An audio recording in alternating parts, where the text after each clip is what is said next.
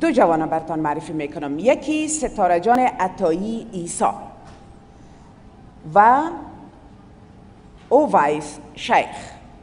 به افتخارشان